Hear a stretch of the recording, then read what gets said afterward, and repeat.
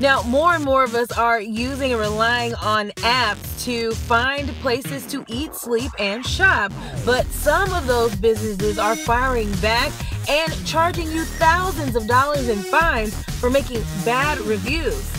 It's time for your dash cam So, using apps like Yelp are very popular when people want to find out if they should frequent a store or eat at a restaurant. But some businesses are known for slipping in a non disparagement clause in the fine print. This gives businesses the right to fine a customer for their bad comments.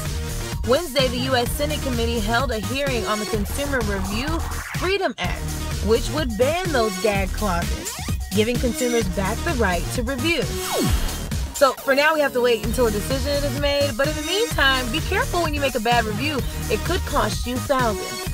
Let us know what you think in the comments below. Follow us on Twitter, Facebook, Instagram, YouTube, at WLB Miller TV, at Dash Cam Deets, and of course, as always, hashtag Fox26 for life.